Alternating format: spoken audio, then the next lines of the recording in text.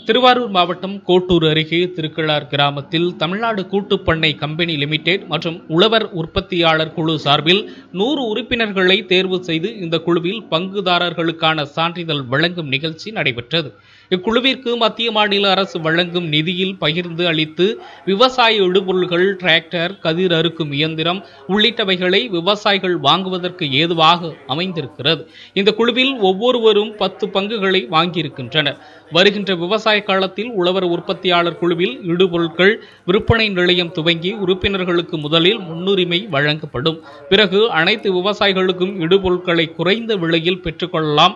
இனி வேளாண் உற்பத்தி நிலையங்களை தேடி அலைய வேண்டியதில்லை. வருங்காலங்களில் மத்திய அரசின் அனைத்து விதமான சலுகைகளும் உழவர் உற்பத்தியாளர் குழுவில் உள்ள அனைத்து உறுப்பினர்களுக்கும் கிடைக்கும் என்றனர். சான்றிதழ்களை கோட்டூர் ஒன்றிய குழு தலைவர் மணிமேகலை வழங்கினார்.